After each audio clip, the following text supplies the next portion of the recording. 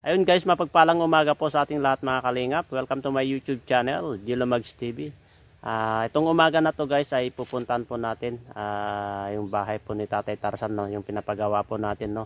At update po natin kung okay na at ano na lang ang kulang.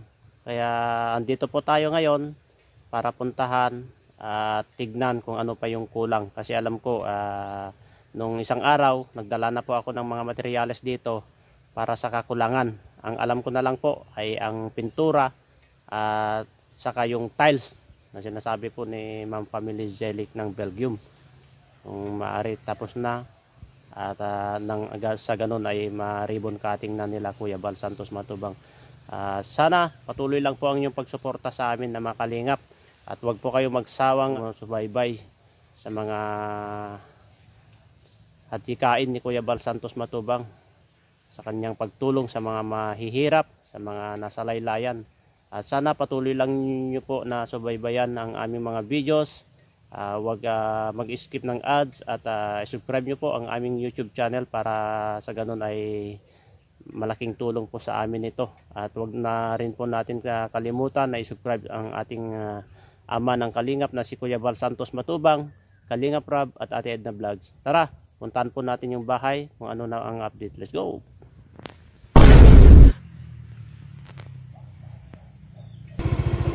Ito po yung dinadaanan ko guys no. Yan.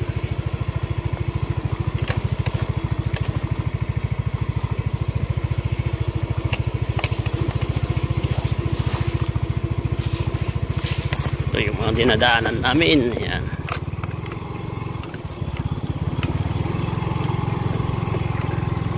Kikita nyo guys ito na dinadaanan namin dito.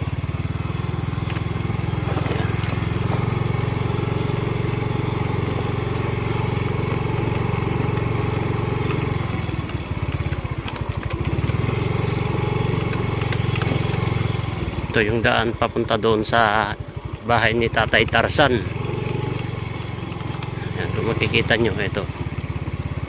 Pwede makapasok ng sasakyan dito guys.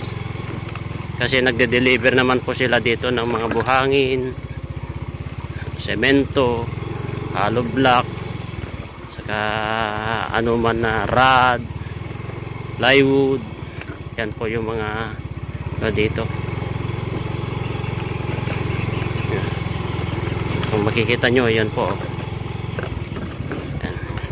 dito na lang natin siguro itabi itong motor Yan, kung makikita nyo guys yan, ay, yan yung bahay. Yan.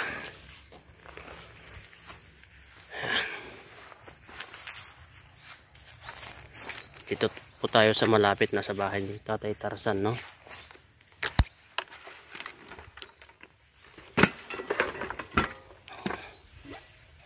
Kung makikita nyo ito guys, ah, andito po kami. Andito ako sa ah, malapit na. Ayan.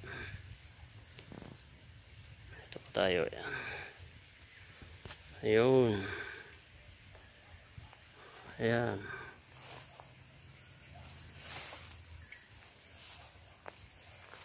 Ayan.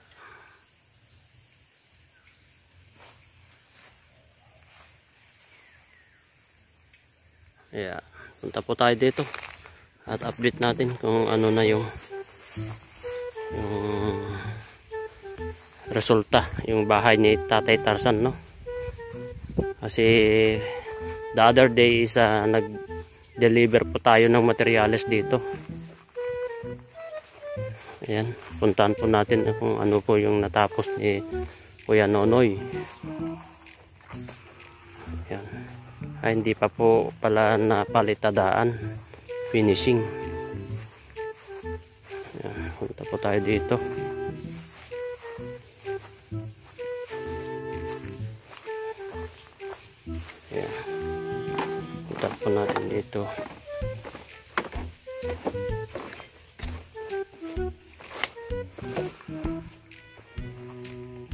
Ayan.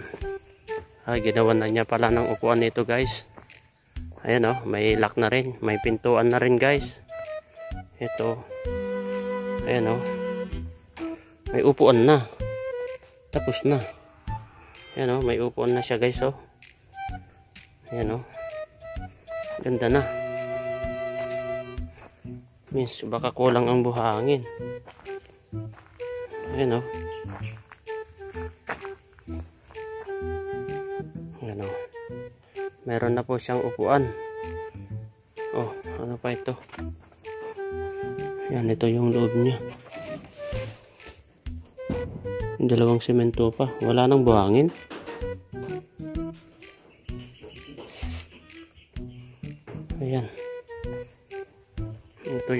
Sa bahay ni Tatay Tarzan guys. Ay sus. Yung tubo pa pala. Ito yung sa kanya. Likod. Ayan.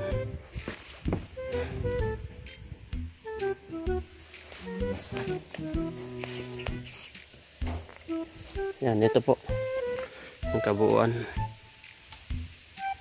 Yan, puntahan po natin ito sa loob niya at update natin. Yan po yung ginawa ni Kuya Nonoy, no? Ito.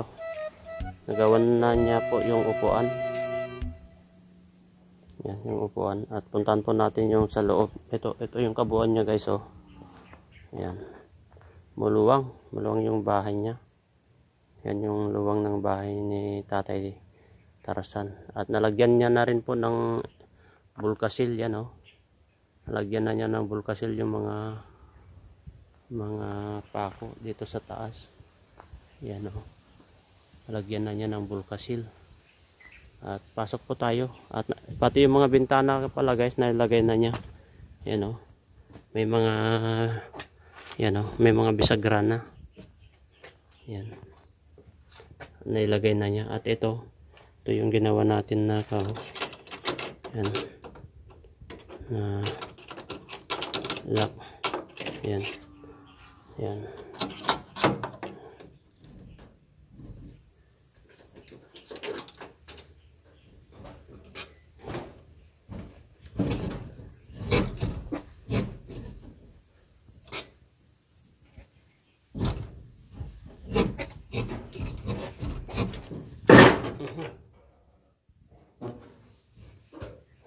mataas yun.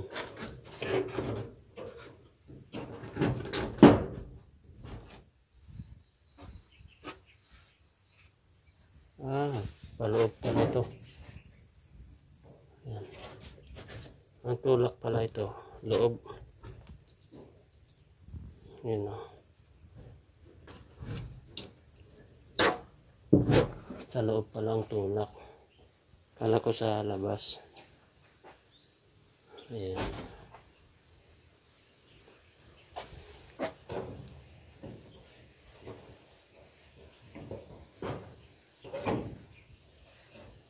Ayan. Puntahan po natin dito sa loob guys.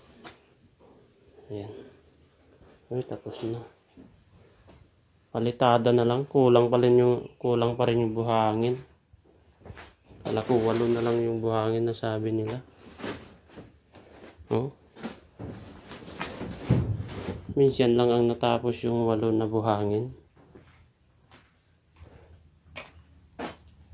Kulang pa rin pala.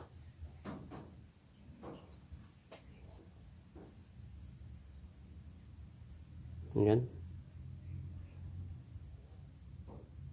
Means parang kukunti yung napuntahan yung walo na sako. Parang kukunti naman yata yung dineliver na buhangin. Pag ganyan lang karami, hindi puno.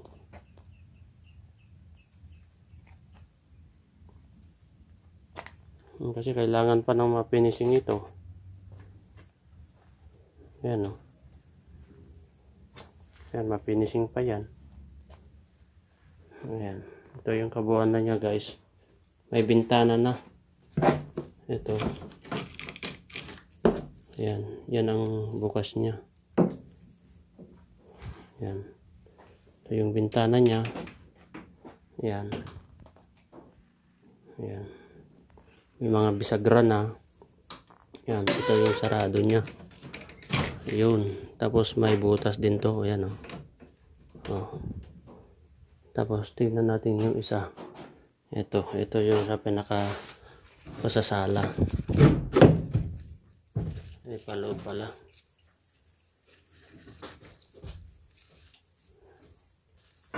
Paloob pala yung kanya, yung yung bukas niya. Ayan. Ayan.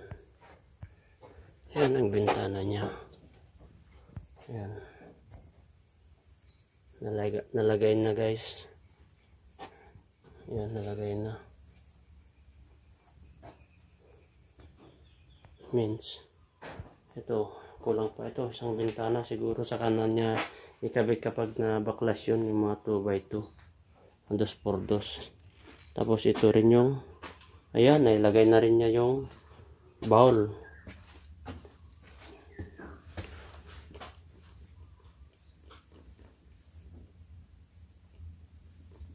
Ayan. Ayan, yung bowl na ilagay na niya rin guys. Yung bowl. Kasi lalagyan pa niya ng kweto eh. Lalagyan pa niya ng parang harang dito. Ito yung pinaka lutuan niya. Yan ang pinakalutuan niya. Yan ang pinakabintana niya. Yan CR. Yan, yan ang pinaka toilet niya. Ito, naka toilet niya dito. Tapos ito, siguro free na ito. Nagiging open na ito. Wala nang wala nang pintuan nito. Hindi nalagyan ng pintuan dito sa kusina. Ito, yan na lang, bintana. Means, yan ang ginawa niya nung isang araw.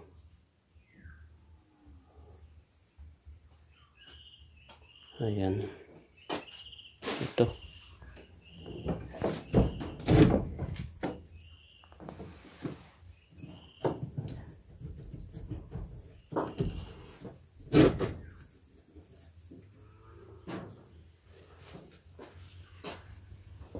Yan itong paligid niya guys. Oh.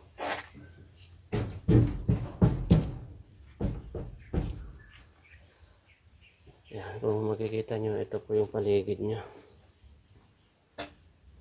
Yan. Dito. Yan. Doon yung motor ko guys. Kita nyo na doon. Yan. Ito yung paligid niya. Kapag umulan na yan. Ito. Yan. Sarado natin. Wala hindi mapasok.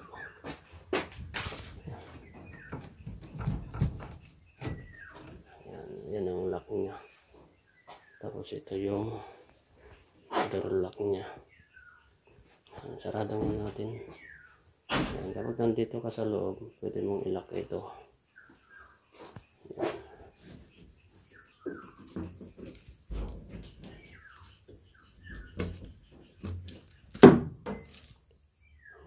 yung pinakabutas niya. Binutasan na rin si Kuya Nonoy. Yan. Bukas. Yan, bukas.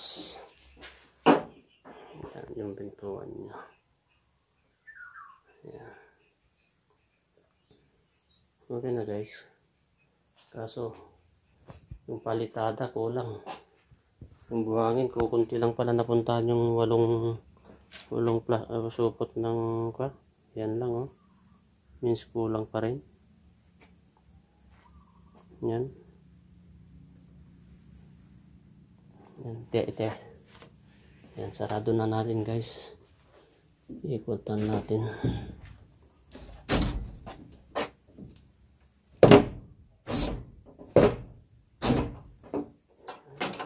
Ito yung lock niya.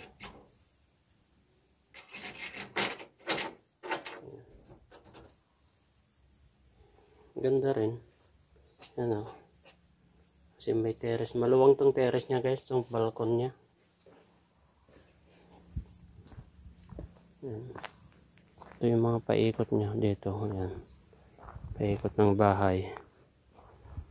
Yan. Ito yung kabuuan niya. Kabu kabuuan ng bahay yan. Yan o. May terrace na siya. Ayan. Yan ang terrace niya. Kaso hindi pa po napalitadaan guys lahat. Means kulang pa. May semento pa naman kaso palitad, pang palitada na lang po yan. Tira na semento. Hanggang dun. Ayan o. Oh. Tapos pintura.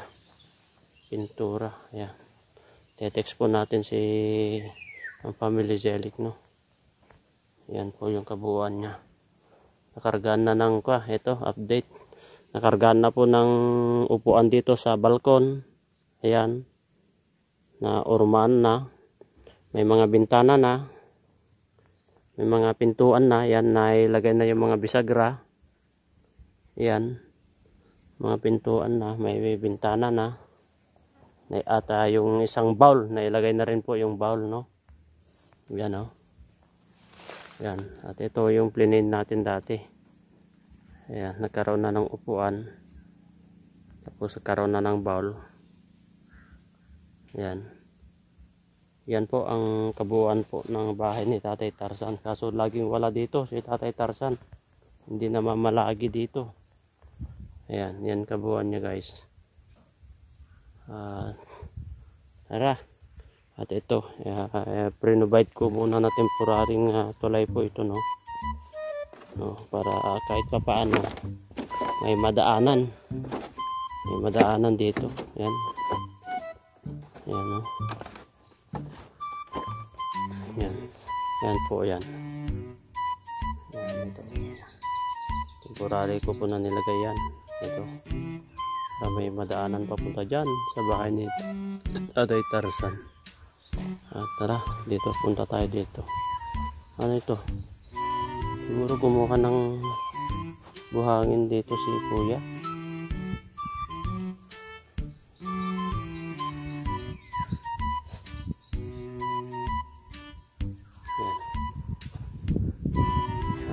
Ayun ang update ko ma'am family Zelig ng Belgium. Salamat sa uh, walang sawang uh, suporta at pagtulong kay tatay Tarzan no kahit pa paano ay handito pa rin kami para handang tumulong sa mga at, at handang ipaabot ang yung mga tulong para sa mga taong nangangailangan at salamat nga pala sa mga nag-sponsor ang main sponsor natin na si Ma'am Family Zelic ng Belgium. At salamat din kay Ma'am Mars Maris yan, Ate Maris la Heart Borbolen yung mga nagbigay pa po na tumulong ng mga plywood. Sila Ma'am uh, Las Vegas yan uh, kilala mo po kung sino ka po ma'am na nag-donate ng mga semento rin dito sa pabahay ni bahay kay Tatay Tarsan no? Uh, ayaw niya po kasi magpapabanggit ng pangalan si Ma'am uh, Las Vegas. Kaya maraming maraming salamat sa walang sawang pagsuporta po no kay Tatay Tarsan andito lang po kami para magpaabot ng inyong tulong ng mga kalingap partner ni Kuya Val Santos Matubang kahit papaano nakapagawa na naman po tayo ng bahay at nakatulong na naman po tayo sa isang nag-iisa sa nag-iisa na sa buhay na si Tatay Tarsan. Yan, kahit wala man siya dito palagi, kahit papaano at least napatayuan natin siya no. At tumutulong pa rin tayo na gumawa sa bahay kapag uh, nag-iisa po yung karpintero natin. Saka hindi po tuloy-tuloy kasi yung karpintero kasi may trabaho po sila. Kaya extra-extra lang yung mga nakukuha natin ng mga karpintero. Hindi man na tuloy-tuloy yung araw nila. At least kahit papano na ayan nakikita mo na yung buo ng bahay. At tapos na. Kunti na lang kunting tiis na lang kaya yung kunting unawa lang po ang kailangan natin guys no? Matatapos din po yan. Hindi pa po natin pwedeng dalhin pa dito yung gamit ni Tatay Tarsan marami pong gamit ni Tatay Tarsan na nasa lighthouse na pinadala po ni Ma'am Family Zelic ng Belgium. Alam ko po siya po ang nagsusuporta na sa lahat ng gamit kay Tatay Tarsan dito Ayan, maraming maraming salamat uh, guys sa walang sawang uh, suporta po sa amin ito pauwi na po ako at uh, sana patuloy lang po kayo na manood sa aking uh, video sa mga upload ko na video, sa aking live. Sana nandyan lang po kayo na laging ah, sumuporta at ah, laging ah, nanonood sa aming videos na mga kalingap. At sa mga hindi pa po nakapag-subscribe sa aking YouTube channel, Gilo Mags TV. At syempre, ang aking partner na si Capron D, yan support po natin siya at i-subscribe po natin ang kanyang YouTube channel Capron D Vlog. At shout out nga pala sa mga tigangers, yan, mga Team Marites, mega loud shout out po sa inyo. At sa mga sponsor, mga solid ah, supporters, mga OFW, silent viewers, sana nandyan lang po kayo palagi na sumusubaybay at hindi po nag skip ng ads sa aming mga videos. Ah, sana patuloy din po ang iyong pagsuporta at nandyan lang po kayo na laging sumuporta kay Kuya Val Santos Matubang, ang ama ng Kalingap, at siyempre ang kanyang may bahay na si Ate Edna Vlog at ang kanilang anak na si Kalingap Rob. Maraming maraming salamat guys at pauwi na po tayo at punta po tayo sa lighthouse para sa ganun ay ka magpakita po tayo doon. Ito guys ah, uh, bali pa uwi na po tayo. Salamat salamat sa walang sawang pagsuporta po sa amin bye bye love you all. To get away